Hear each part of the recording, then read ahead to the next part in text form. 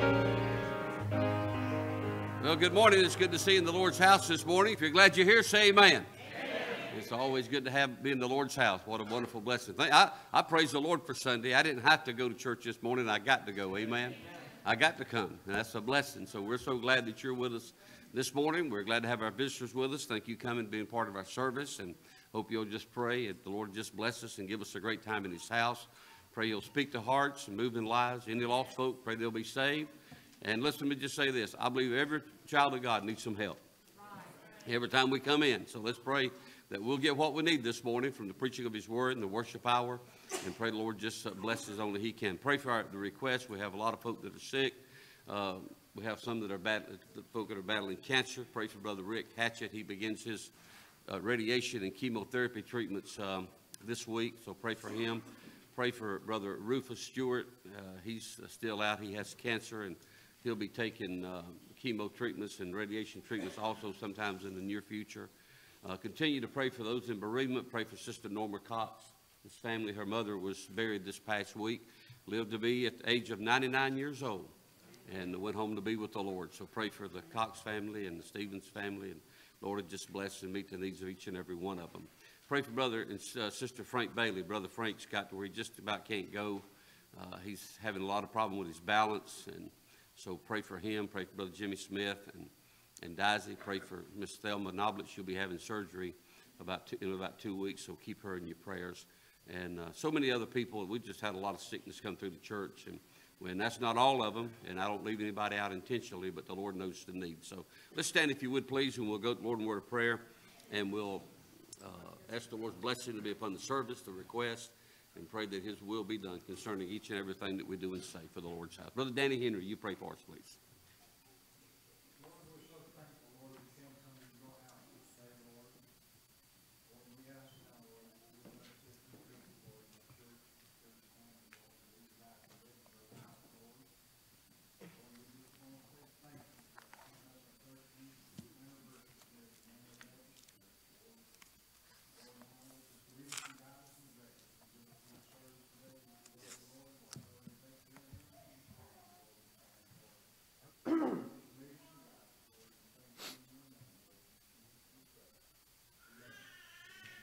Amen. Remain standing if you would, please. Turn your hymn books, page number 95. Page number 95. Kneel at the cross. That's where we should be today, is at the foot of the cross. We'll sing the first and the last verse, page number 95.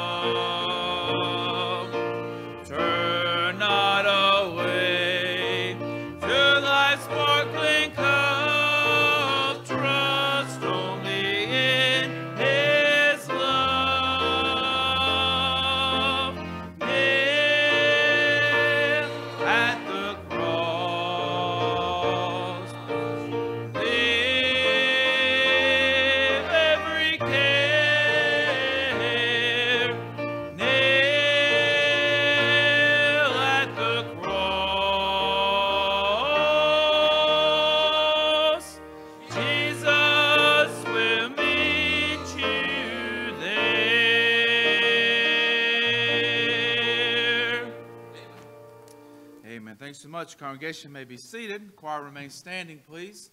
I'm glad we can kneel at the cross. leave all of our cares and all of our troubles there. As Christians, we should take that cross and we should bear it to others so that they may come and kneel at the cross as well. One thing I never want to be accused of is hiding the cross of Jesus Christ. That's our number one goal should be to bring others to that cross. And we should not have to ever regret a time where we hid the cross.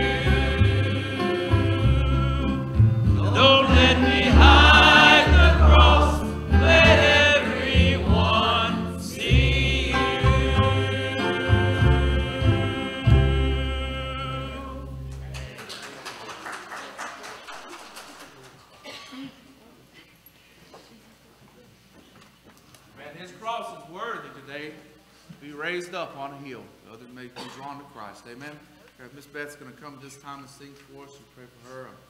Sure the Lord will bless you with this song.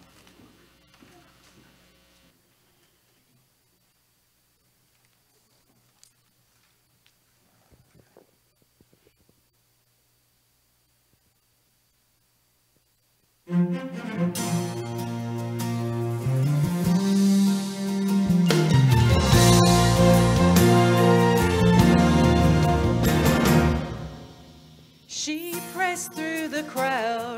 so weak and so frail. As often she'd reached out, but her efforts failed. With faith so persistent, determined, she must touch Jesus. Her friend says just give up, for after 12 years of heartache and failure, disappointment and fear, your condition with the multitude, he will not see us. I can't As she looks down the lane, she sees someone coming and they're calling his name. Son of David, Messiah, I heard someone call him the healer.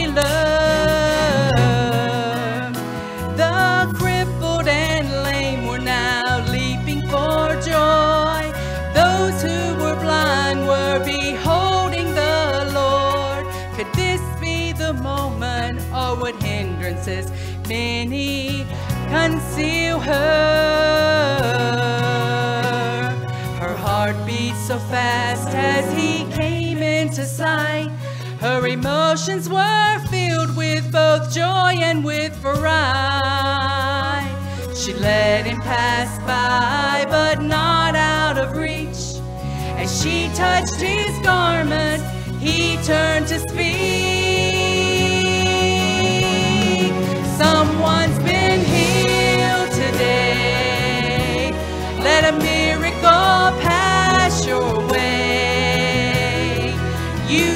Touched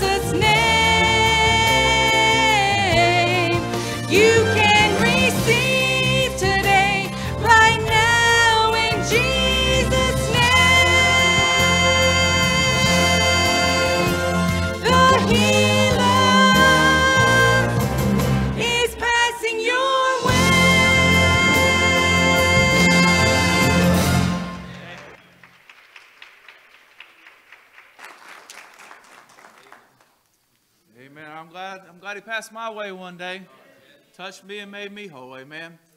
No matter what we might be going through, what might be facing, if we just reach out to him this morning, he'll heal us. He'll make us whole. Amen. So often we go through life and we, we worry about these small things that, that we might be facing, these things we might be going through. And we wonder, what am I going to do? Where am I going to turn? Well, if we just turn to Him this morning, if we just realize that all those things that we're facing, all those battles we might be fighting, He's already won for us. It's already be, been finished years ago on Calvary.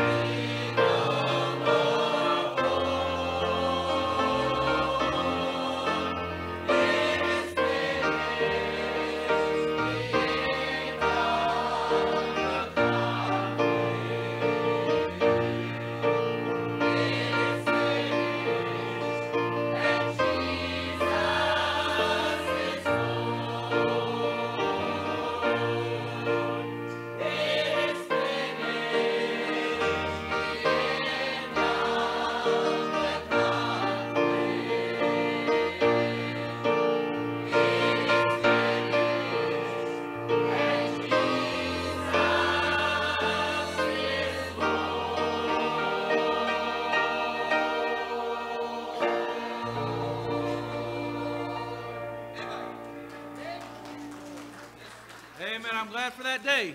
He finished our fight. He finished our battle. All at Calvary. If you'd stand, please turn your hymn books. Page number 67 at Calvary. We'll sing the first, the second, and the last verse. Page number 67. Choir will be excused on the first verse.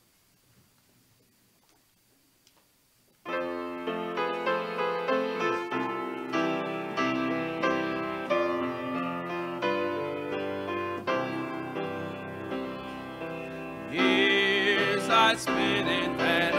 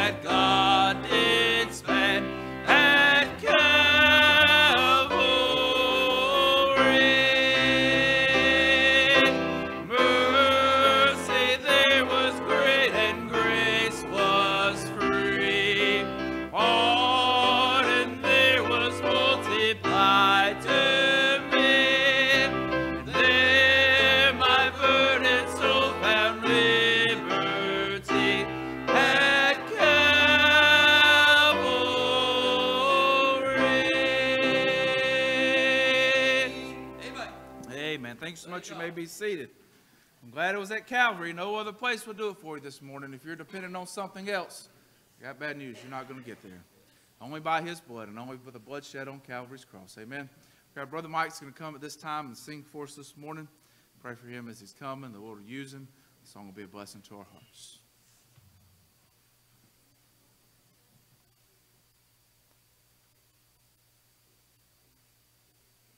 Thank God for saving me.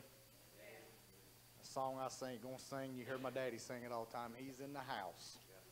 He's in the house. I worked with a, a, a, a, uh, lady a while back, and, and, and uh, she told me uh, something about being possessed by the devil. And I was talking about that, and she said, "Well, the devil cannot reside where the Lord resides. So he can't. I cannot be possessed by a devil because he resides in me." And I thought that was good. I really did. I said that makes sense. So just listen to the words of the song. I don't sing it like Daddy does, but I, I'll, I'll give it my best.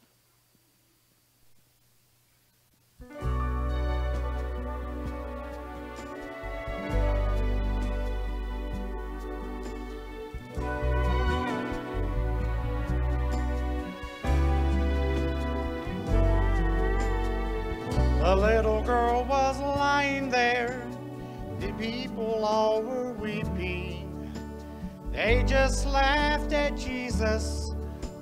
said she's only sleeping. Then he took her by the hand and she began to live again. Some began to praise the Lord, some began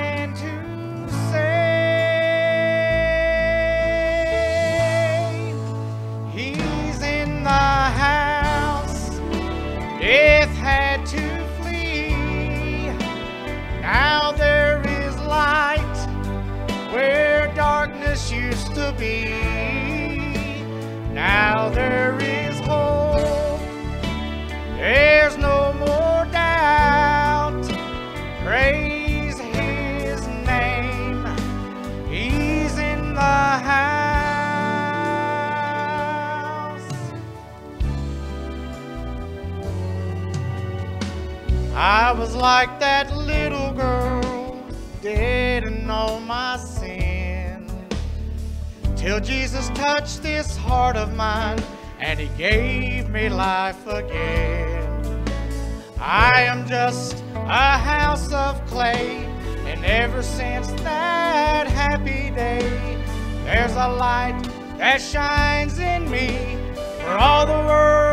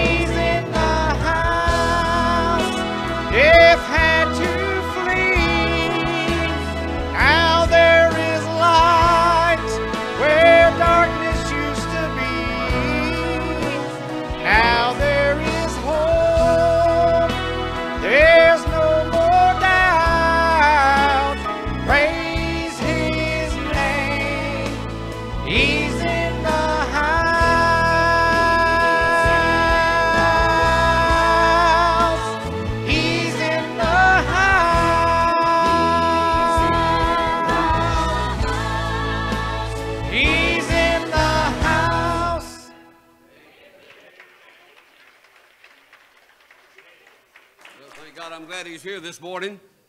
You say, Preacher, how you know he's here? Well, I brought him one way, and I feel his presence. Boy, there's just a wonderful thing about being in the house of God and feel the presence of his, of his being there. Amen? God will begin to move and touch and move in lives, and like we've never seen it before, if we'll let the Lord have his way this morning. And I praise the Lord for the privilege that we have to be here and to have our visitors with us and have some we haven't seen in a while, have you here in the Lord's house. That's, that's extremely encouraging and such a blessing. And we just thank you so much for coming and being here this morning and being a part of the service at Emmanuel Baptist Church. We don't take it for granted that you're here. You could have went anywhere, but you chose to come here. And I think you came to the best church around. Amen. I always said a church alive is worth a drive. So uh, sometimes we have to tell our people that. Some of them come a long distance and they'll come a long way. But uh, we just appreciate them making their way to the house of God, being in the presence of the Lord, and just allowing the Lord to work and move in our lives. What a blessing, amen. If you're glad you're here this morning, once again, say a good amen. amen.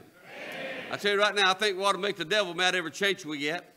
I'm mad at him already this morning. I, I don't like him. I don't know where y'all like him or not, but I don't like him. And Brother Mike says he can't be possessed by the devil. I'm going to ask Rachel after service about that. Uh, that's his wife. but anyway, isn't it good to know that, hey, I'm glad we're his. Amen.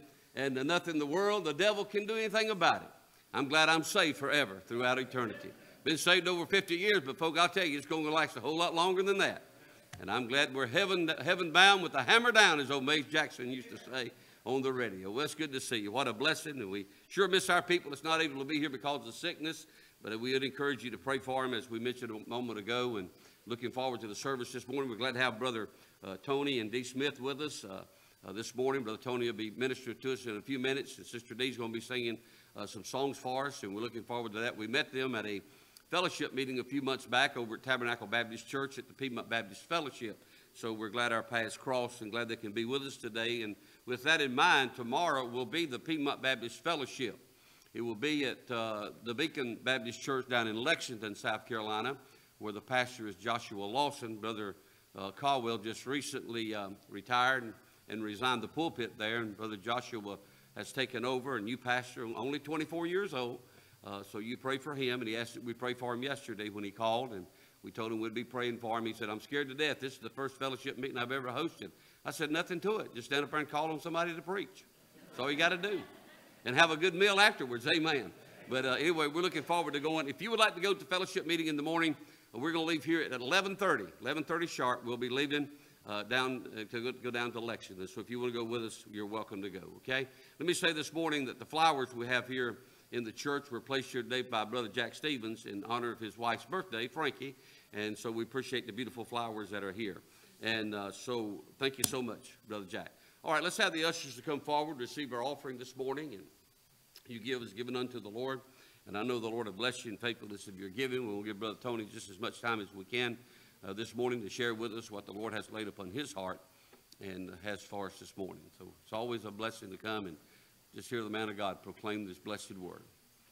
Amen. Let's bow our heads and go to the Lord in word of prayer, and ask the Lord's blessing upon the service, also upon the gift and the giver and the offering. Brother Bill Noblin, if you'd pray for us, please. Thank you, Lord Jesus. Yes. Yes. Grant our Father.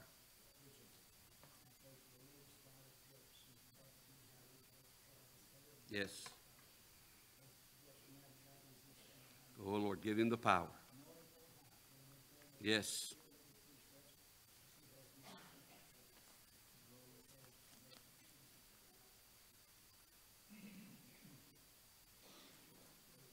Yes. Yes. Amen. Amen. Thank you, Brother Bill.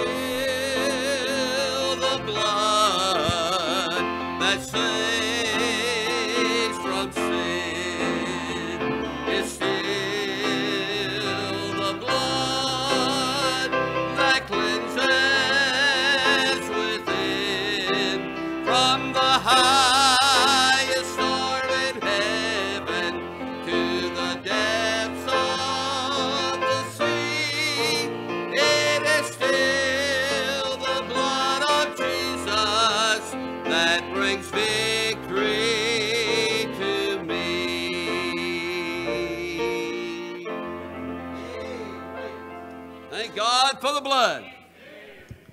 Thank God for the blood of the crucified one. Praise the Lord. Bless you. God bless these little youngins. Amen. Praise the Lord. I thank the Lord for them. Let me make a couple of more announcements before Brother uh, Tony comes and his wife comes. Uh, don't forget, um, uh, next Sunday, of course, is Easter Sunday. And uh, we're looking forward to our Easter Sunday services uh, to begin with at 7 a.m. Yes, that's a.m. 7 o'clock does come uh, twice on Sundays, a.m. and p.m. So 7 o'clock next Sunday morning, real early, weather permitting, we will be having our uh, sunrise service in the prayer garden.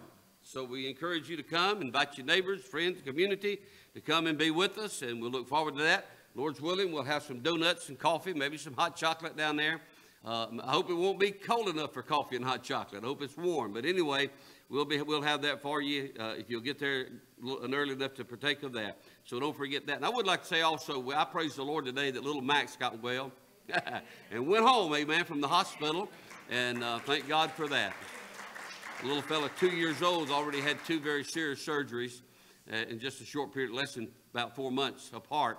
And uh, boy, I thank God for watching over him and touching and getting him well and getting him home. And I'm looking forward to that little curly head come up here and drop some money in the jug. Amen. I, I love our kids. I appreciate them so much. And so you continue to pray for Max as he's at home recovering. Maybe he'll get to be with us on Easter Sunday. So don't forget the sunrise service.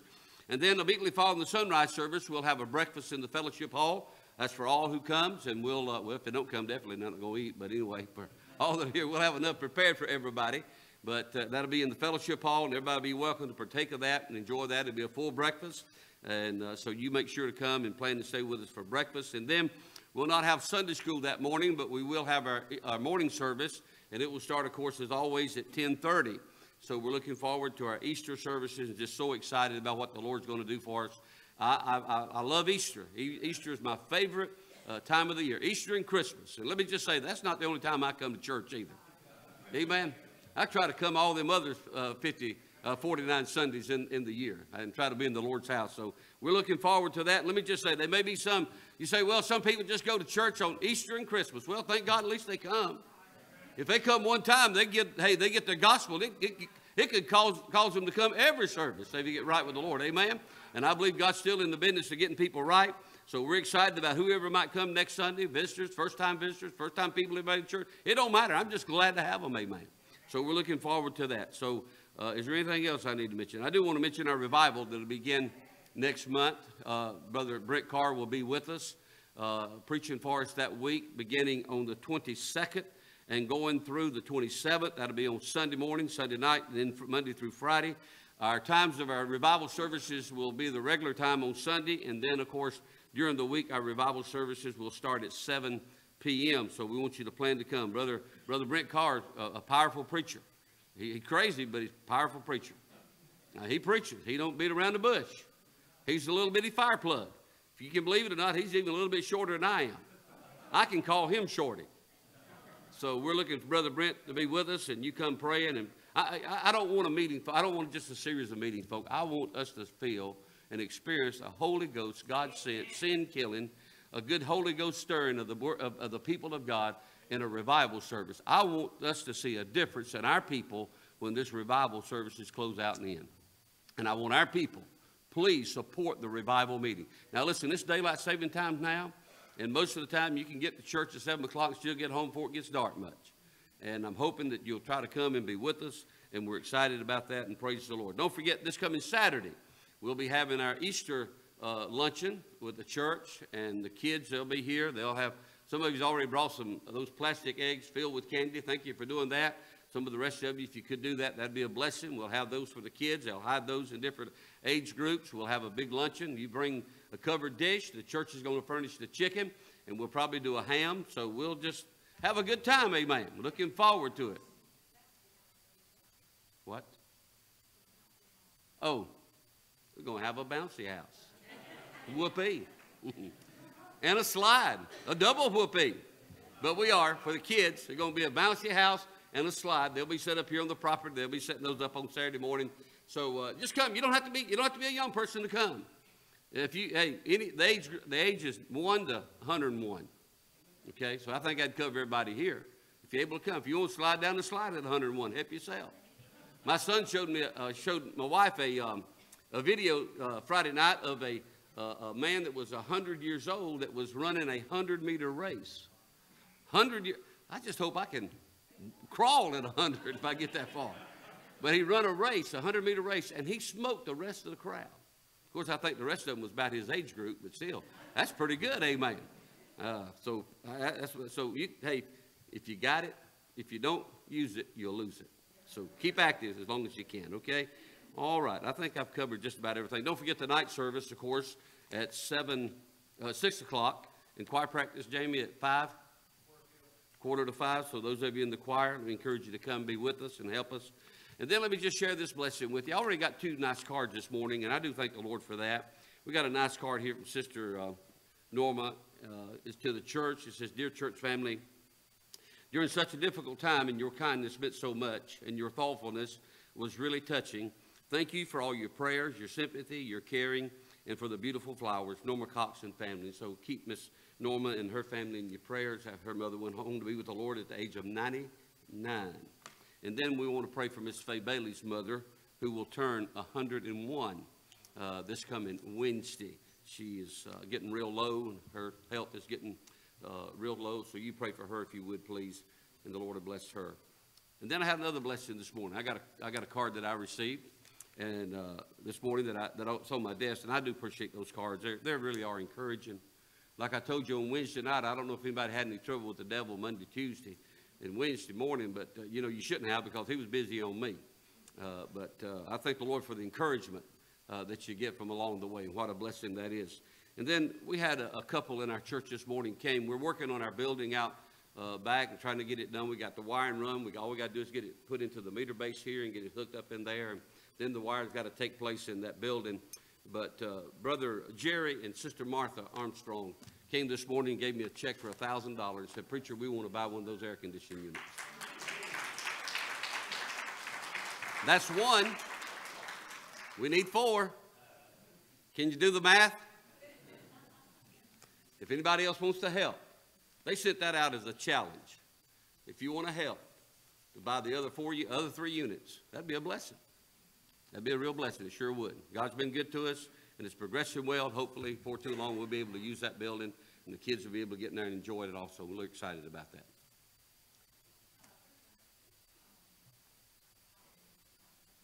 I can't hear you, hon.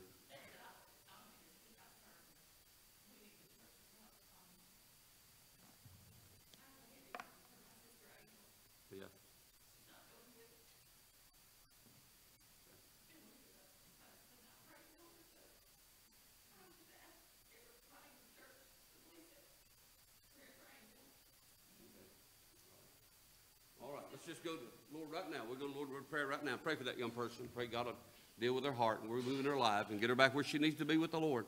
I'm telling you, young people, this world is not anything to fool around with. It's not anything to fool around with. So we have to be real. You have to be real careful what you, how you approach and what you do and who you run around with. And, and let me just say this, mom and dad. Now, brother Tony's going to preach. But let me just say this, mom and dad and grandparents. You can't let them do what they want to do. You can't let them do what they want to do. That's where we get all the problems that we get. That's why our, some of our churches in the mess today that they're in is because we've allowed the devil to come in and allow people to do some of the things that they want to do, and God's not in a thousand miles of it.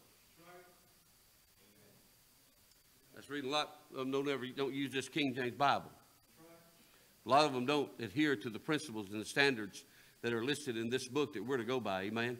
I'm thank God we still have some standards. We still have some principles around here, and we're not going to change them for you. We're not going to change them for nobody else.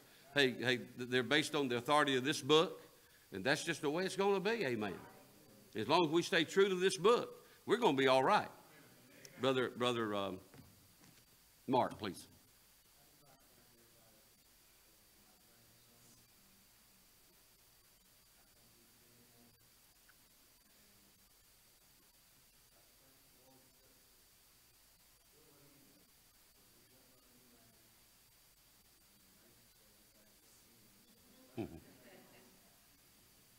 Amen. Thank you, Brother Mark. So glad Max is doing well.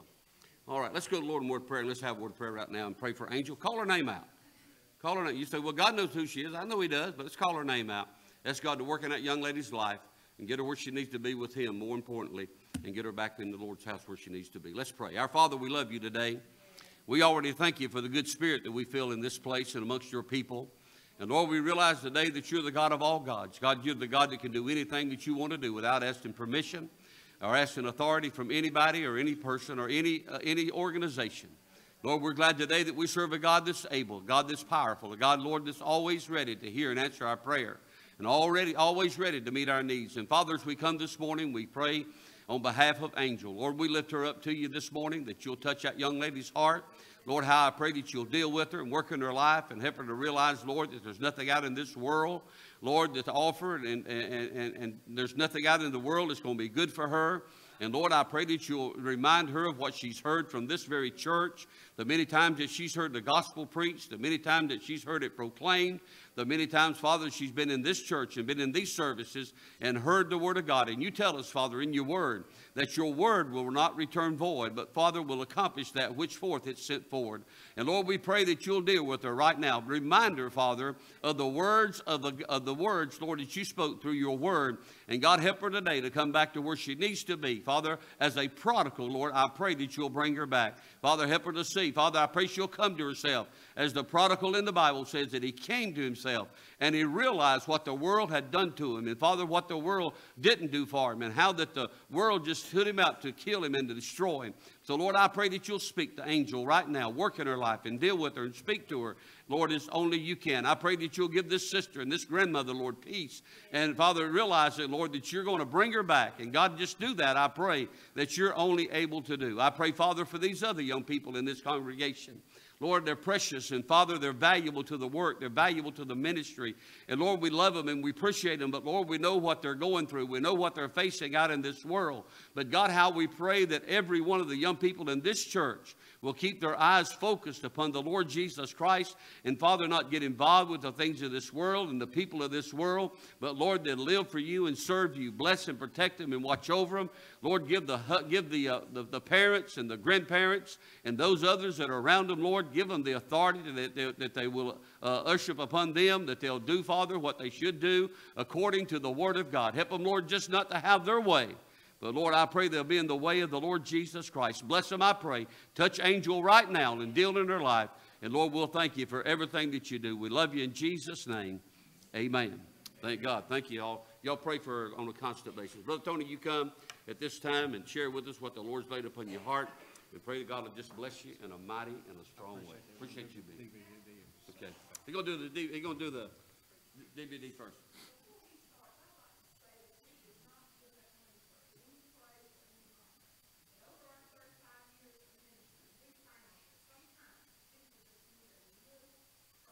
Amen.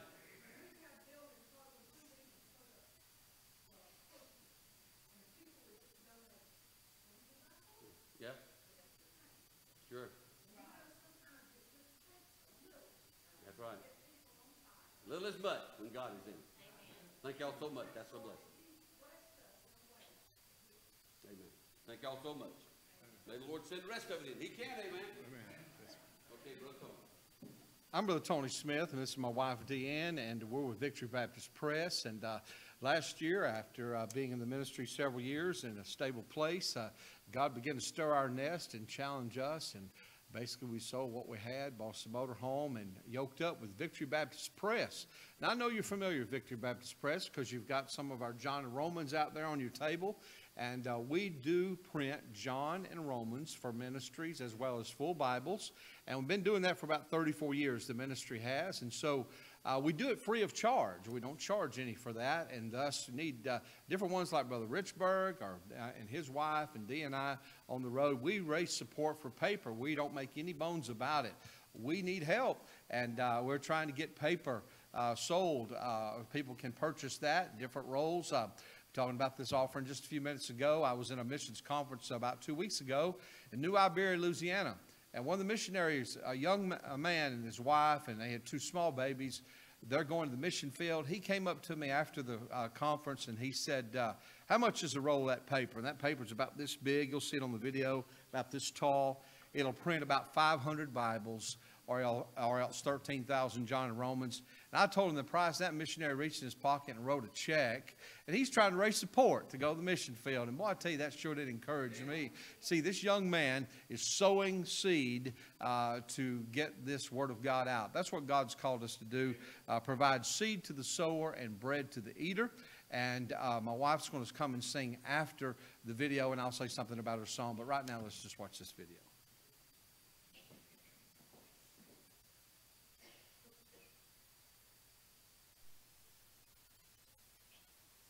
Tony and Dee Smith, field reps for Victory Baptist Press, a ministry of the Victory Baptist Church in Milton, Florida.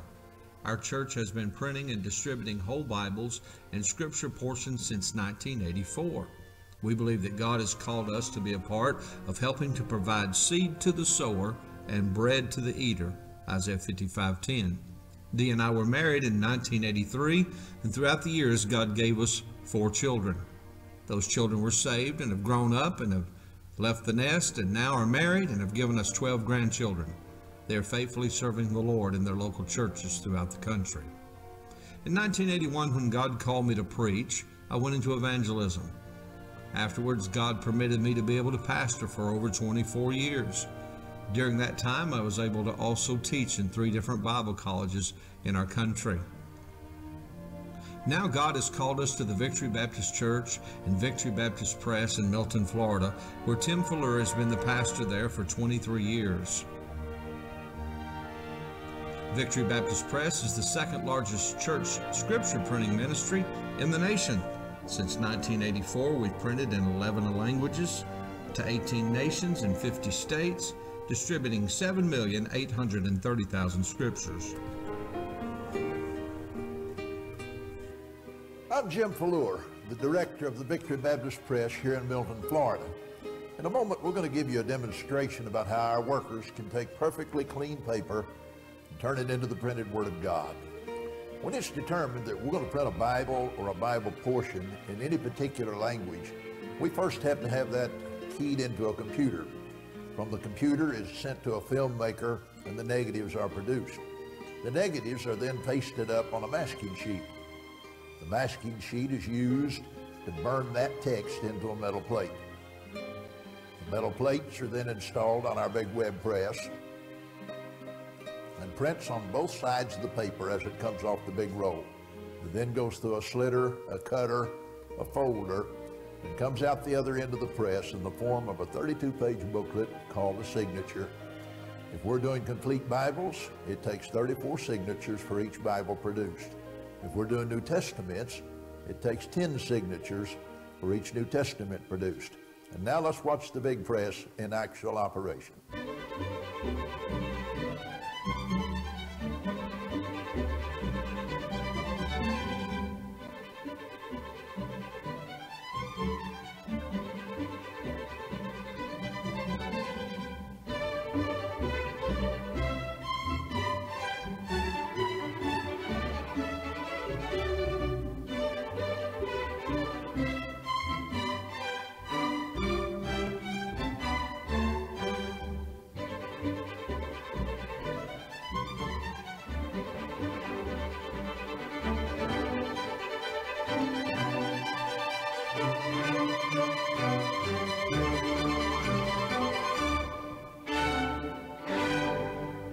The next phase of the operation in completing a complete Bible is printing covers.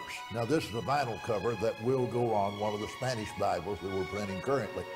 But first of all, it has to have the name of the Bible imprinted on it.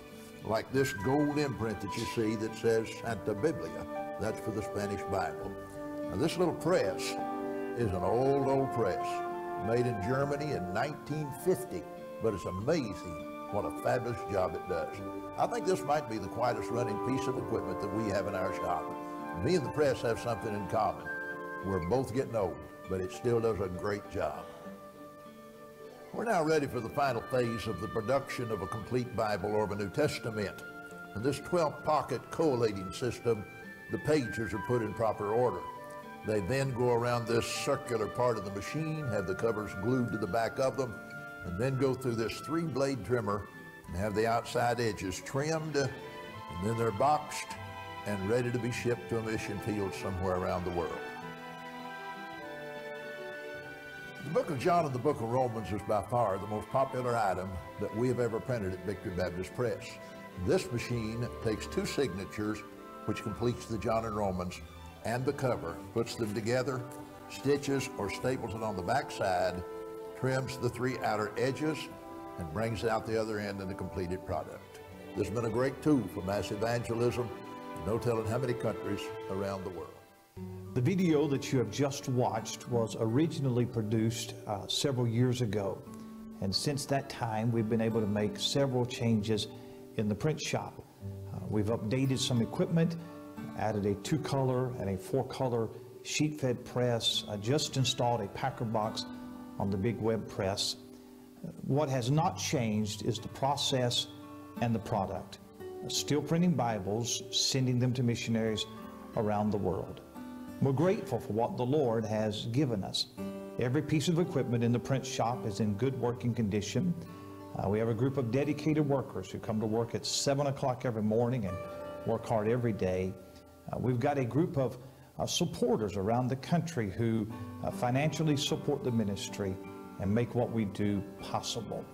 For over 30 years, we've been able to print these Bibles and have never had to make a charge for any of them.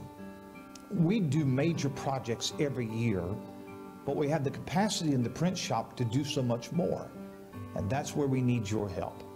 We need financial support now more than ever because the need and the demand is so great. Where could you invest your money into a more worthy project than sending the Word of God to places where there is none?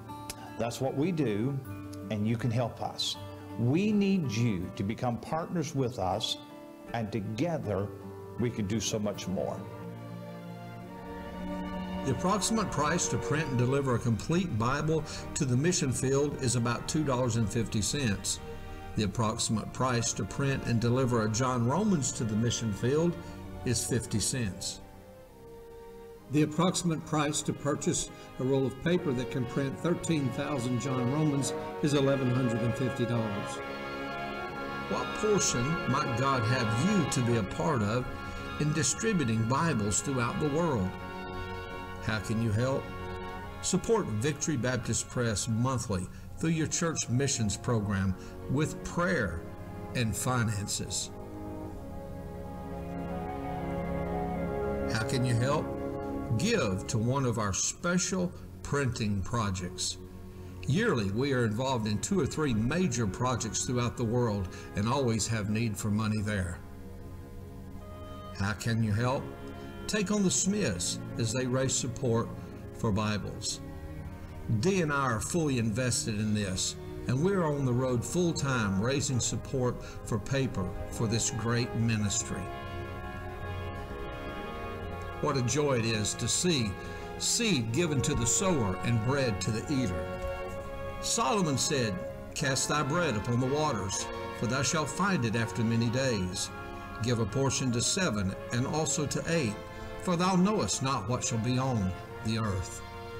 Would you consider supporting Tony and Dee Smith as field reps for Victory Baptist Press as we provide the seed to the sower and bread to the eater?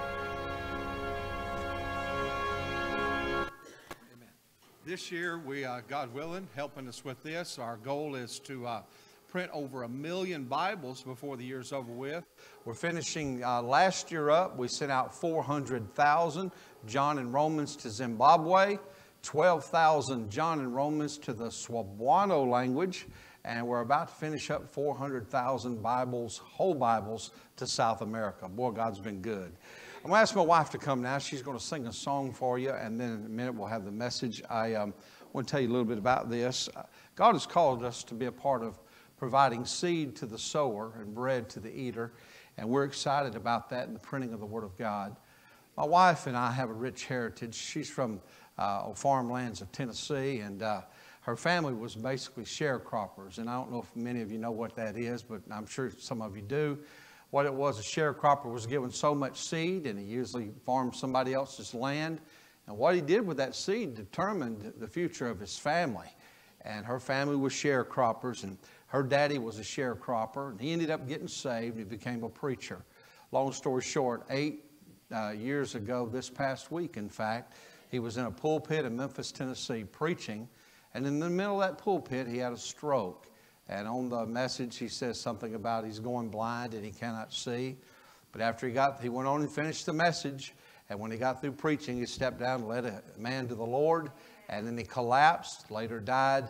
That man went on to Bible college and is now on the mission field. What a way to go out, I tell you what. Well, we could not help but when Dee Dee just recently recorded this CD about two weeks ago, uh, we put a song on there called Sharecropper Seed. The excerpt you will hear is her daddy in that last message at the start of this, telling about the power of the gospel.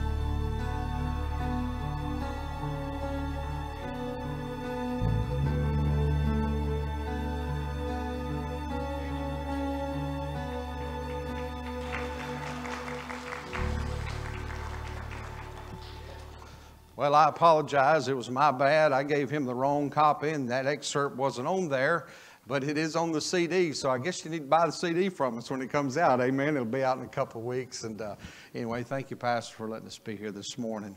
Take your Bible with me, please, and turn to Ecclesiastes chapter number 8. Ecclesiastes chapter number 8. I appreciate my Bible this morning. I'm sure thankful for it. I've been a few places of the world that I've seen people that have never even gazed upon a copy of the Word of God. And I know that's kind of hard for us to perhaps comprehend, but there are places still like that in the world. And why should I have so many copies of the Bible and nobody else have one? And uh, certainly everybody deserves to, to be able to hold Holy Writ uh, and, and read it. If I do, none of us really deserve it, but God's a gracious God. I want to talk to you a little bit about that this morning. Ecclesiastes 8, verse 1. Who is as the wise man, and who knoweth the interpretation of a thing? A man's wisdom maketh his face to shine, and the boldness of his face shall be changed. I counsel thee to keep the king's commandment, and that in regard of the oath of God. Be not hasty to go out of his sight, stand not in an evil thing, for he doeth whatsoever pleaseth him. Where the word of a king is, there is power. And who may say unto him, What doest thou? We'll be talking to you mainly about verse number four, where the word of the king is, there is power. Our Father in heaven, oh God, how much I need your power. Uh, Lord, I'm just a mortal man. I have no ability to touch a soul. I have nothing, but I have thy word, and thy word has power in it and you've exalted your word above your name. And I yield to you and desire to be fully controlled by the Holy Ghost. I pray you possess me now for a few minutes, Lord, that you may be magnified and your word will be exalted. In Jesus' name I pray. Amen. Where the word of the king is, there is power. In Solomon's day, a king, uh, his power, his word had a vast amount of power in it. It was the final say. If a king said it was going to be, it was so. Nobody could veto it. Nobody would vote on it. In fact, the king's wrath, the Bible said, is as a roaring of a lion. If a king was a good king, the Bible teaches us and states that the king that sitteth in the throne of judgment could scatter away all evil with his eyes, while he could just order something with his eyes and, and then speak it, and it would be done. If he was a mean king, in the Bible you'll find his servants were nothing but slaves. And by the way, I'm thankful we still live in a democratic society that, in, in America today, that just, you know, some politician can't say it's going to be and it's going to be. But that's not the way it was in the days of these monarchies when a king ruled. Uh, his word had absolute power and authority. And I will remind you if you hold an old King James Bible there in front of you this morning, you hold the word of a king. And where the word of a king is, there's no doubt power. It has the final authority and it has the final authority and power to work. And I appreciate and love my Bible because it's been such a blessing to my life. I look at this Bible and I realize it has the power to excite our awe.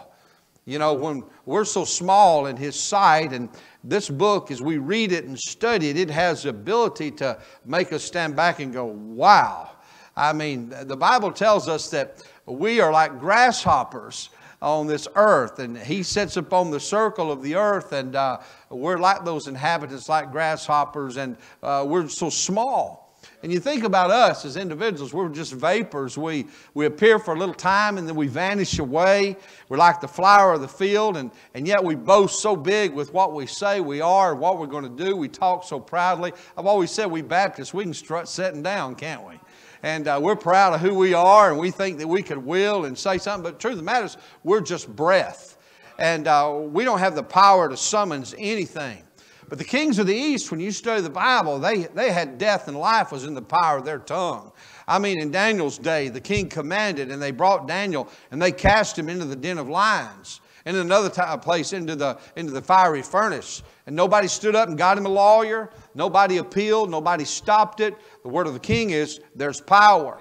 And the day of old Solomon, there was old Joab, and he got out of line, and Solomon looked at old Benaiah and commanded him to go down to the altars and grab Joab, and he did. And as faithful as Joab had been, he took Joab's life. And then another time there's old Shimei that cursed old David in the Old Testament. The Bible says that Solomon told, told Benaiah again, the son of Jehoiada, you go down there and you slay him. And he fell upon him and he died. And nobody took Solomon from his kingdom. Whatever he said would be. Well, there was one time they even brought a, two women and a baby to him. And, and Solomon, if he would have said, go on and cut that baby in half, they would have done it. Nobody would have stopped him. Because where the word of a king is, there's power. In the Old Testament, the book of Exodus, in Pharaoh's day, if he ordered the babies to be killed, they were killed. In Herod's day, if he ordered the babies to be killed during the time of the birth of Christ, they were killed. If it was in David's day and he'd order Uriah to the forefront of the battle, as good as though Uriah was, he's put up there and his life was taken. If a king said, Bring me the head of a Baptist on a charger, they'd bring the pro- most prolific uh, preacher of the day in and remove his head because where the king spoke, a divine sentence was in the lips of the king. And when he spake, bless God, it was done. But our word of the King that we preach from and we study here this morning, it's important that it has the power to excite our all. When I stop and think about creation and, and, and the world that God made, and man, I tell you, uh, uh, imagine a world before there was no days. And one day God said, Let there be. And so forth there began to be just by the mere word of God. By the word of the Lord were the heavens made, and the host of them by the breath of his mouth. And man, when I go to the oceans, or when I go to the mountains, and when I see the beauty such as we've seen in South Carolina, North Carolina in recent days, I have to say, wow, what a powerful God we have that could speak such beauties into creation. And by the way, I want to remind you, if you're saved here this morning, you got saved by the Word of God. We're born again, not of corruptible seed, but by incorruptible, by the word of God, which liveth and abideth forever. And the same God that spoke this world into creation, one day he looked upon you and I, and under the preaching of his word, the word of a king said, Let there be light. And light came into our soul, and we were born again, and we were saved, and he created in us a new creature. Man, I look at myself, I'm not what I used to be, and I'm not what I should be, but I can tell you this therefore, if any man be in Christ, he is a new creature. Old things are passed away, behold, all things have become new. How? By the word of God. God spoke, and you and I were created, and we were saved. He has the ability to create, but he also has the ability with his word, and I stand in all of that to cessate things. He has the ability to say, I want it to stop. I mean, if God were to order it just one word, and He could stop a life, or He could change creation. If it's a kingdom, He could order it to rise, or He could order it to fall. Upon His uh, command, leaders will be placed into position. Earth and America may say, We want Hillary. He says, I want Trump. uh, God can, with His word, do what He wants. He can bring uh, cities in under fire and brimstone. He can cause uh, the world to suffer a deluge of a worldwide flood and to uh, uh come to cease in its existence. He can cause men to lay in piles uh, uh, on the battlefield if He orders it. To. He can cessate because He's God, and that's what His Word can do. Man, when I think about the latter times of the Bible and what it says all has to happen, I stop and think about all the Middle Eastern folks lining up with what the Word of God says, and I think, well, how can that be so? But let me tell you something. When God says it'll be so, it'll be so. And there will come a day when men will learn war no more, and they'll beat their swords into plowshares.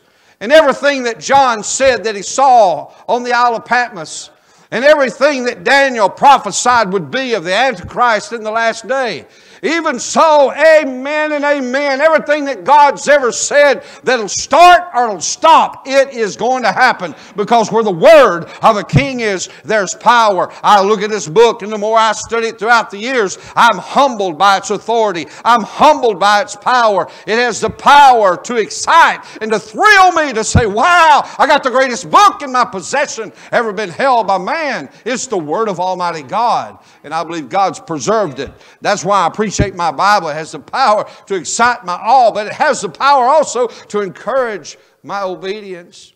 It sure helps me uh, to obey because I got a problem. I don't always want to obey. To obey is better than sacrifice, and to hearken than the fat of rams. And whenever God gives us a command or something He wants and expects for us to do, we may struggle with it, but God's Word has the power to encourage us to obey God. God says, give, and we say, I don't want to do it. But His Word says, give, and it'll be given again unto you. Good measure, pressed down and shaken together and running over. And with the same measure that you mete, it shall be measured to you again. Wow, that encouraged me to say, I think I'll give. Glory to God. You know, God says, bring your tithes and offerings to the church. And we say, I, I, don't want to do that, Lord. But He says, You bring your tithes and offerings into the storehouse, that there may be meat in my house, and prove me now herewith, saith the Lord, if I'll open the windows of heaven, pour you out a blessing you'll not be able to receive. And suddenly I say, God said it? All right, I'll do that. That's good. You see, God's word has the power to encourage me to prove the sincerity of my love. It has the power to encourage me to grow and, and to be challenged by, uh, by what He's telling me to do, to, to obey, even if I don't understand it, just to do what God tells me to do. It has the power to encourage me that. You see, Solomon said here, he says, I counsel thee to keep the king's commandment in verse number two. You may say, Well, Brother Smith, I don't know what's the best course of action for me to take in a matter. Well, I'll counsel thee today to keep the king's commandment. You say, I'll get in trouble and it'll cost me something if I do what God's telling me to do. I counsel thee to keep the king's commandment. I could lose a friend, or I might lose a position, or I, I, I might get off track to what I was really planning on doing. I counsel thee to keep the king's commandment. When God speaks to your heart, as Solomon said, be not hasty to go out of his sight. Don't say, well, God told me to do it, but I'm going to put it off. Don't say, God told me to do it, but not right now. Uh, God told me to do it, but I, am struggling and I'm wrestling with this matter, and, and I, don't, I don't know if I'm going to do that. Let me ask you a question. Does not one breach of his promise that you do not keep, does that not make you and I a traitor? Would one, one leak in a ship cause it to sink? And when God says for us to do such and such thing, we must follow the counsel of our king. Where the word of a king is, there's power to say, okay, you told me to do it. I've got to do it. I may not understand it, but I'm going to obey God. You see, the Bible has the power to encourage me to obey God. The Bible says here, he says, go not out of his sight. And, and sometimes we may think that, well, I'll just quit listening to God or I'll quit going to church and I'll kind of get over here and I'll hide myself and I'll get away with this and I don't have to do that. Let me tell you something. Study old Jonah if you can get away from God when he's speaking to your heart about doing something. While he'll follow you to the bottom of that ship and he'll follow you to the bottom of that ocean, he'll follow you in the bottom of that whale to get you to the place that you'll do whatever God tells you to do. And the story of Jonah proves to us that even a whale can't stand a backslidden preacher. He's got to vomit him up. And God will put you in the Whale Bible Institute and teach you a few things over the years, and you'll say, I ain't going to do what God's telling me to do. Oh, you better, you better reconsider what you're thinking there now because God's Word has the power to encourage me. I got to obey God. My family might not understand it, but I can do what God tells me to do. I remember when Dee and I began to sell everything. We, we were going to sell and buy some motorhome, motorhome hit the road. A couple of my kids said, Dad, I think we need to start talking about the nursing home. because everything was stable, all of a sudden we turned the world upside down. But you know what? When God says do it, just do what God tells you to do. He has the power to encourage you to obey, and He'll be a bless you, and He'll be behind you. Stand not, as Solomon said here, in an evil thing, because God has the power to stop you. You say, Well, I'm going to just do what I want to do. Well, let me tell you something. God has the power to stop you from doing what you're going to do. Oh, obey God. Just do what the Lord tells you to do. Sometimes He's spoken to me about giving something. Sometimes He's spoken to me about witnessing to somebody. Sometimes He's spoken to me about doing something that I never dreamed He would want me to do. But I found it in His Word, and I found Him to be true. And all the promises of God are in Him. Amen. And amen to the glory of God. He's given me exceeding great and precious promises that by these I might be partakers of His divine nature and escape the corruption that is in the world through lust. Just do what God says till the stars fall, and God will bless you. Has the power to encourage me to obey God. has the power to ensure my confidence. Because not only am I, and I know I'm just speaking to me, so you don't stare at me like you at the zoo. That'd be all right. And, but, but I don't always want to do what God wants me to do. And, and uh, I'm not always, you know, always confident that it's always going to be all right. And sometimes I find I need mercy. And God's Word has the power to ensure me to have confidence. And sometimes I mess up and I fumble on third and ten and I make a mess of something and uh, I fail. But the Lord says, Seek ye the Lord while he may be found. Let the wicked forsake his way and the unrighteous man his thoughts, and let him return to the Lord, and he will abundantly pardon. There's some times that I need the mercy of God more than I need anything. Boy, I need grace to keep me going, but you know what? I need God to be merciful to me. Man, I'm a, I'm a Christian I'm a preacher and I'm saved, but I mess up and I sin. And I want to remind you here this morning that the mercies of the Lord endureth forever. I want to remind you this morning that His mercies are renewed every morning. I will remind you today and say a hearty hallelujah to it that I may say I've done something too awful to mention. I'm too embarrassed to talk about it. But if I throw, my, throw myself on the mercy seat of God and beg for mercy, guess what I find? I find mercy and grace to help me in time of need. Where do you get that, Brother Smith? I get it from the Bible. For the Bible tells me that God's a mercy merciful God. You listen to the red letter words of Jesus He that cometh to me, I'll in no wise cast him out. And sometime I was ashamed if I had to go to God and say, Oh God, this is what I've done. Oh God, this is what's happened. Oh God, will you once again be merciful to me and don't give me? And God says, I love you. I forgive you. I wash you. Let's start anew. Has the power to encourage me. with His mercy. Hallelujah. The confidence again. Bless God. I can get up and go. Has the power when I need mending. Because sometimes I need mending. I've been hurt a few times. And I have taken a few torpedoes over the years. Every now and then a Baptist will chew you up and spit you out. They'll gnash you upon your, upon your neck.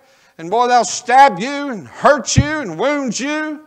Maybe you're sitting here this morning and you need some mending.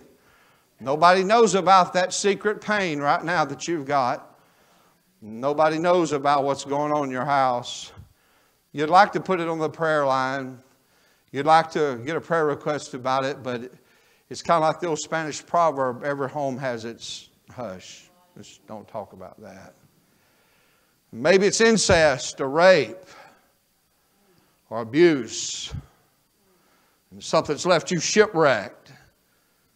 You're floundering once again just to try to find some sort of existence, even as a Christian. And your heart is so broken. Oh, would you hear the words of our Master that says, Come unto me, all you that are weak and are heavy laden, and I will give you rest. Take my yoke upon you and learn of me, for I'm meek and lowly.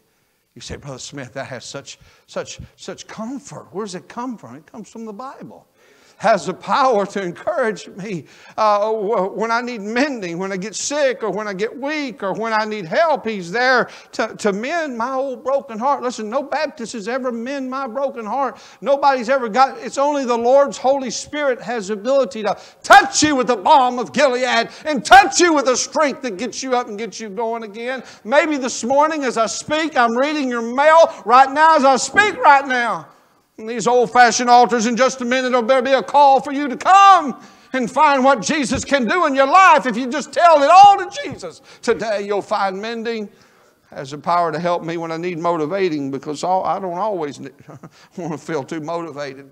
Like this morning when I got up, my bed was velcroed to my back. And uh, I wake up and I mean well, and I still think like a young whippersnapper, but my body says, You ain't no young whippersnapper, and we're not going to act like that young whippersnapper. Uh, you know, when I was a kid preacher, I used to run around, preach, run around all everyone preach, and I realized when I got fat, boy, I can stay right here and say the same thing in one place. Sometimes I need motivating. Where the word of a king is, there's power to motivate you. If we confess our sins, He's faithful and just to forgive us of our sins and to cleanse us from all unrighteousness.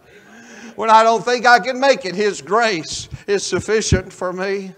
when I say, well, I, I, I, the devil's, he's getting the best of me, but I remember, hey, greater is he that's in me than he that's in the world.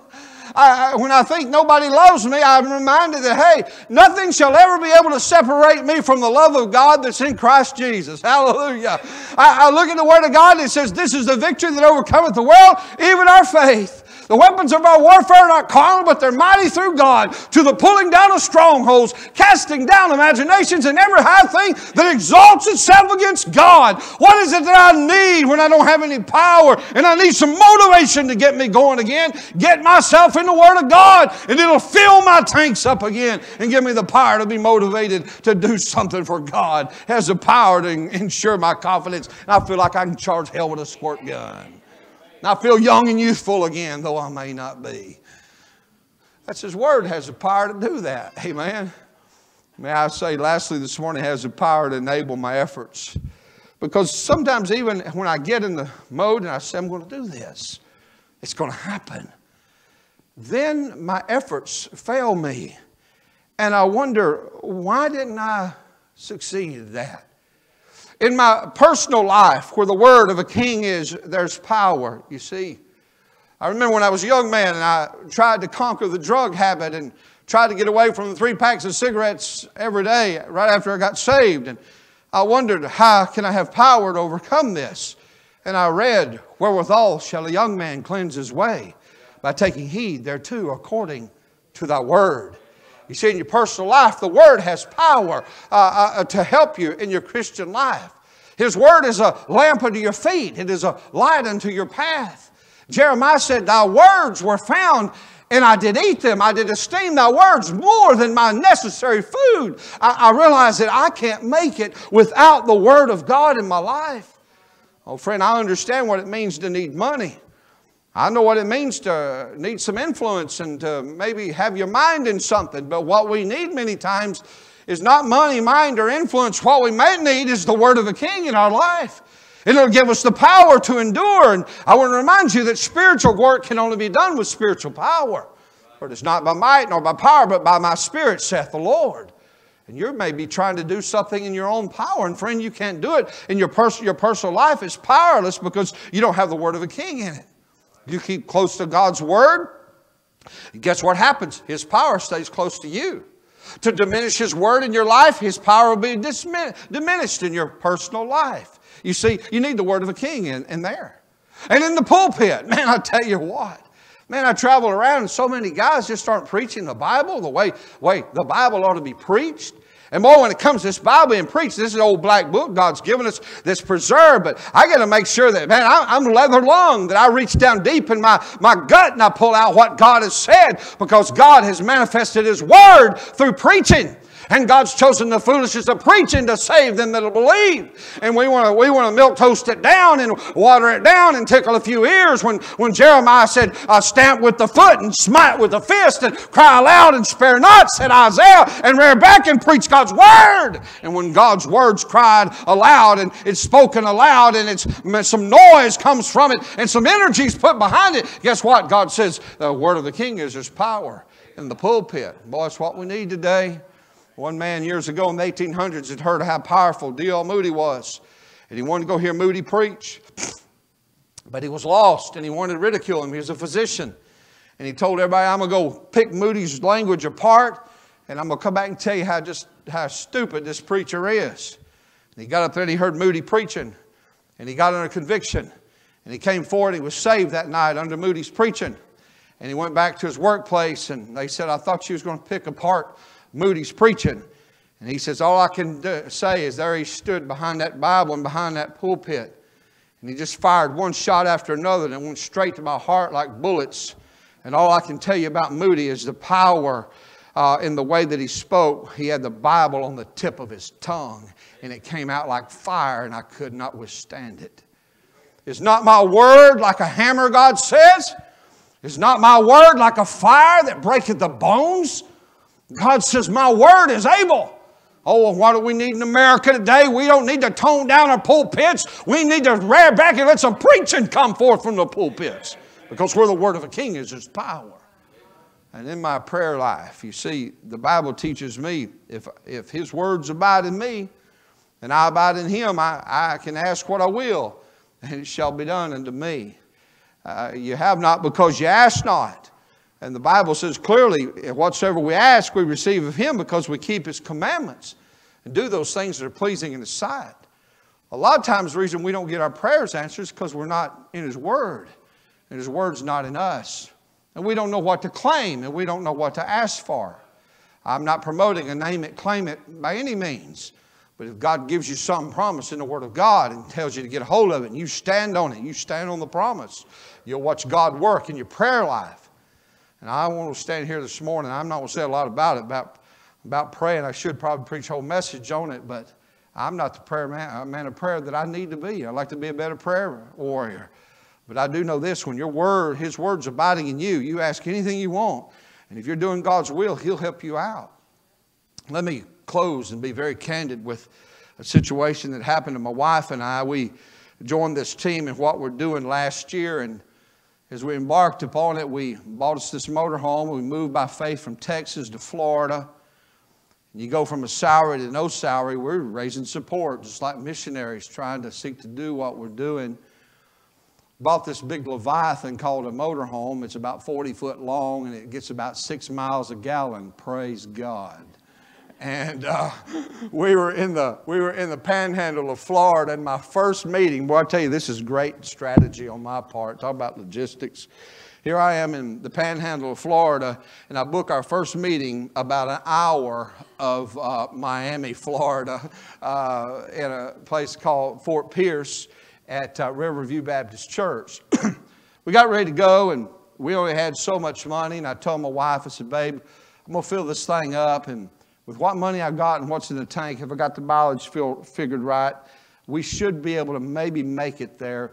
And uh, she said, well, let's just go at it. And here we were like little kids again. We've been so used to owning houses and, you know, stuff like that. And now broke and nothing, you know, and not knowing what tomorrow is going to bring in anything. But man, we're launching out by faith. I told Dee, I said, we got to pray nothing happens in this motorhome as we go, because if it does, we're stuck. We'll have to call for some help. And I don't know, any, I'm a Mississippi boy. I don't know anybody from Florida except my pastor. I did sure didn't want to get on the road and call them first trip out. and so I planned for, I got online scheduled a place to stop in Gainesville that first night. That's about halfway. Florida's a big state. Big old panhandle across and a long way down. It's going to be a two day journey down there, basically. And uh, we got down to Gainesville where I was about halfway, where I was supposed to have my uh, place to stay that night. And it was about dark. And the guy came out and he said, Well, Brother Smith, he said, I'm sorry. I know you're going to come. He says, It's getting late. I rented your place out to somebody else. He said, I don't have any more places. We're, we're full. Well, you just don't park that in somebody's front yard. You know, it's pretty big. We pull a car behind it. And so, uh, on the Burger King parking lot. So I, I had to drive about an hour or so to find a church to plug it up to. And when I did, I used about a half tank of diesel that I didn't plan on using. Well, with that, that means money. So I get up next morning, I tell Dee I say, honey, let me tell you something. Can't nothing happen today. Because if it does, we are in big trouble. Let's just pray nothing, nothing happens. And so we got on the interstate. We've been on the interstate just a few minutes on I 75 going down the heart of Florida. And there's a traffic jam. There'd been a car wreck, some people been killed and, and, and, I'm not preaching now, I'm telling you the truth, okay? And uh, we're sitting there in the interstate, and I pull, my, uh, I pull the air brakes, and we sat in a parking lot for three and a half hours on the interstate. We just sat there. We're not moving. And it's hot. And we're in deep Florida. And I'm watching that tank's hand just go more and more and more. And Dee said, What are we going to do? And I said, Well, let's do like we used to. Remember when we was in Bible college years ago? And we had to pray for a sandwich and prayed for just getting my shoes resoled, you know. And I said, we prayed for years about other things. I said, baby, we got to have something. So right there in the middle of I-75, cars stacked up in three different lanes. I bowed my head and I said, Lord, I'm supposed to have done better by my wife at this age in life, but I'm broke and I ain't got any money. And God, I know you've called us to do this. And we're trying our best to get to Miami. Unless you intervene, we're not going to make it. God, I don't know anybody where I'm at, and this is the strangest place, but in the middle of this interstate, I'm asking you to give me $100. That's all I asked for, just to get us there. Because we get there, I know Mark Leonard, the pastor of the church, Reverend you, they'll take care of us. Maybe he'll take us home for support. And uh, we finished praying, sat there about 30 minutes, and no movement or anything. All of a sudden, my wife looks down and she said, There's a lady beside us in the car, and she's, she's waving her hands, she's crying. And I, and I, look, I stood up, stood up and I looked, and sure enough, there's lady, she's got these diamond rings on. She's in a Lexus car. Not the kind of person to be pulling somebody like wanting to get our attention unless we hit her, you know. And, and she's waving and crying. And Dee says, What do I do? I said, Well, let's open the door, see what she wants. And Dee opened the door, and the lady goes, If you'll let me use your restroom, I'll give you a $100. you see, we got a restroom on the motorhome. I said, well, come on in here. And made it right in the middle of the interstate. Her car parked, my, my Leviathan parked, and this big old thing. She bolted in here. I to say hello. She went past me, went straight to that bathroom back there. Man, she was back there a couple minutes. And Dee said, there's a hundred dollars right there. And she comes out, she says, Here's your hundred dollars. I said, Ma'am, we can't take your hundred dollars. She goes, Oh, I've been praying. I'm going for an ultrasound. I've been drinking all this juice and stuff. And I'm so embarrassed. I couldn't use a bathroom right here in the middle of the interstate, all these people around. And I was praying, God, please let me find somebody to give me a bathroom and I'll give them a hundred dollars. And I said, Ma'am, we've all been there. We can't take you $100. We understand it. She said, Please do. And she was an independent Baptist, went to Lakeview Baptist Church in Lake City, Florida. I think that's the name of the place. And, and anyway, she took our card. She said, Well, God bless you. God bless you. She went out the door. My wife goes, there went $100. We didn't take it. And I said, Yeah, babe, I know. I, I don't know what. I said, We know what it's like. She said, Yeah, I do. And but anyway, God showed us that if He wanted us to have $100, He could cause somebody to have to use the bathroom to get us $100. that encouraged me a little bit, but I still didn't have $100 and I was still broke and I still needed diesel. Well, we drive about an hour or so, and somebody hacked my credit card a couple years ago, so I'm real bad about in the course of a day checking two or three times my balance. And I didn't check it two or three times that day, and it was zero. And I guess I wanted to see, see say zero again, so I pulled it up, still said zero. And so we're driving on. These, how are we going to make it? I said, honey, I'm down to $8. I don't know how in the world we're going to make it, baby. And uh, I said, but God's told us to do this, and here we go. And about 30 minutes later, while driving, I got my phone, I hit my app, and it comes up, and somebody had deposited $1,000 into my account. $1,000! Woo! That'll make a Baptist shout. I called our home church. I said, What in the world's going on? Y'all playing tricks with me? And they said, No, we don't know anything about it. Somebody called a couple of days ago and asked how to put money in your account. We told them, and I guess they did. I said, Yeah, they did. Hallelujah. And I went from having 8, $8 that morning at lunch to that night, I was sitting in Applebee's eating ribs, bless God. I was enjoying that $1,000 with a full tank of gas, might I add. And we went on down to Riverview, Florida. They took us on for support, fed this fat Baptist preacher, and got us on up the road. Went to another church in Eustis, Florida. They took us on for support, and we cruised back into our home church. Thought like we'd slayed hell itself. I go to the mailbox and pull out a card in the mailbox, and it was from the Lake View Friendship Baptist Church or whatever it is there. Over 90 people had signed a card thanking us for letting one of their choicest church members use the bathroom in the middle of I 75. That's not the end of it. But under that was another card. And in that other card was, it was a card from Carrie, I can't remember her last name, and her husband that we had let use the restroom. And she said, I cannot tell you how much I've used this as a witness and tool about how God will answer your prayer. It's been such a delight to know that God heard my prayer with y'all being parked there. And I knew you wouldn't take the $100, so here's the $100 you wouldn't take. And she put a $100 in the card. well, glory. Well, I say all that to try to encourage you this morning where the word of a king is, there's power. And whenever you ask anything according to his will, listen, it ain't about me, it ain't about you, it's about his word. And God wants his word printed, and God wants people to have his word, and God wants you to use his word. And that's our God. He's a good God. And where the word of a king is, there's power. Heavenly Father, Thank you for the liberty I've had this morning to preach. I even went a little longer than I thought I needed to, but forgive me for that. Father, please bless this word that's been preached today. And I know, God, I've seen so many, and so many people can tell stories like this, uh, but how often we've seen you just do uh, the miraculous and and even so more, Lord, now that we're having such close affiliations with the printing of the Word of God. Uh, the devil, new levels, new devils, the devil is, he works so much against it. But God, you're so big. And maybe somebody this morning needs some faith and they need some encouraging. And maybe somebody right here this morning, they're just about ready to give up. And this morning, if they just come and, and trust your word and, and lean on you and find strength to get on out of here, they'd be helped here today. And Lord, I pray you'll use everything that's been said without repreaching. I'll leave it with the preacher to use wisdom to guide this flock. In Jesus' name, amen.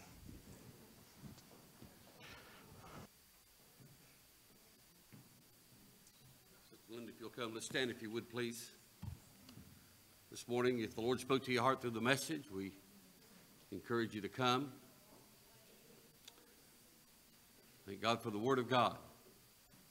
Thank God for the power that's in His Word.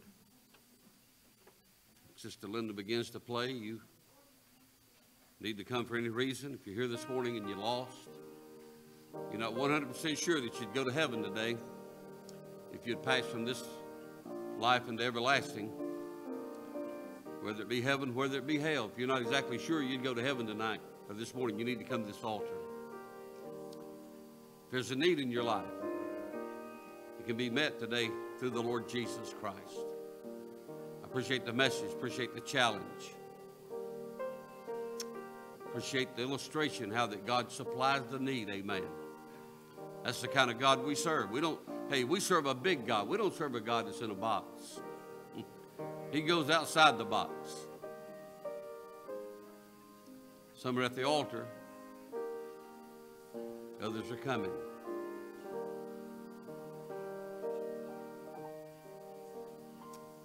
Still, folk are coming. If you have a need, if you have a burden, just make your way down to the altar. We'll be going home here in a few moments. Once you get something that'll help you and take you home? Get something to help you take you home and bring you back tonight, amen.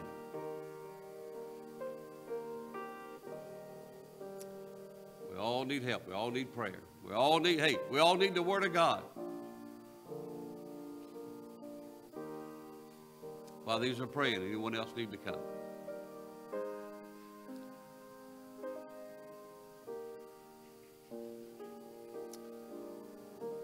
Great message this morning. I appreciate that so much.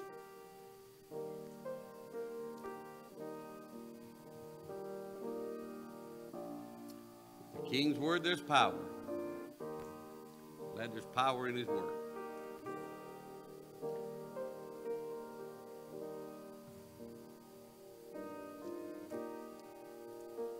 Just allow the Lord to work in your life. Allow Him to bless you as He wants to.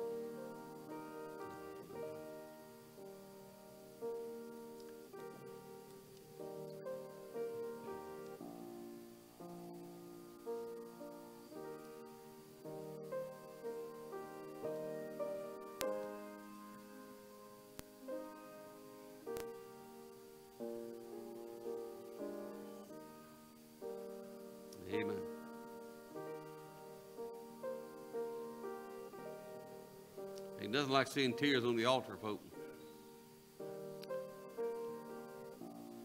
I like to see people get up and tears stains on the altar.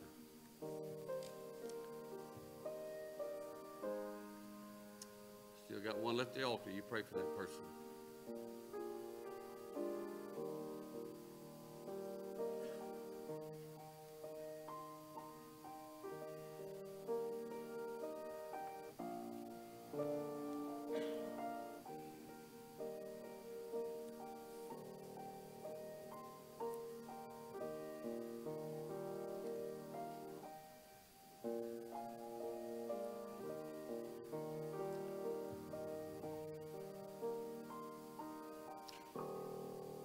Don't want to dismiss till this will finish at the altar, so just be patient if you would, please.